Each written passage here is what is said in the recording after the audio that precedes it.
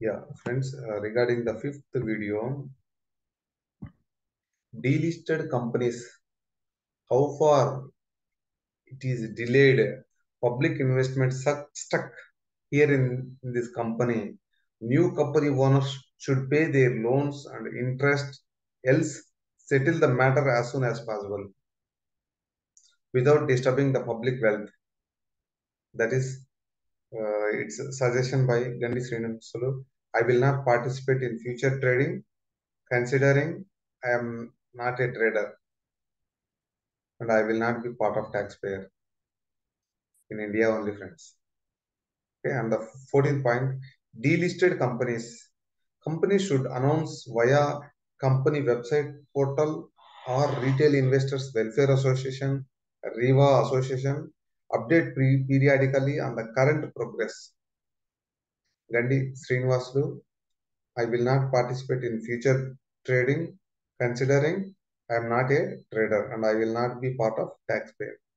And 15th, 15th point, friends, delisted companies, honorable NCLT orders should be available in the public domain.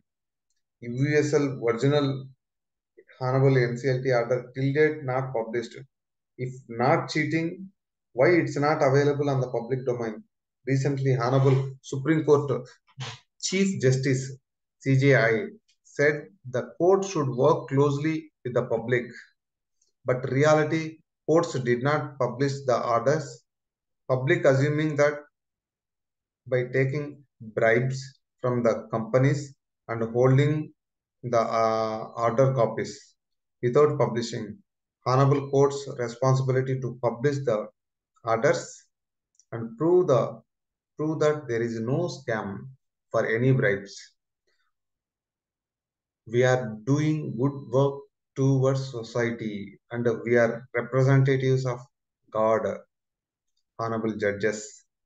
Gandhi Srinivasulu, I will not participate in future trading considering I am not a trader and I will not be part of taxpayer.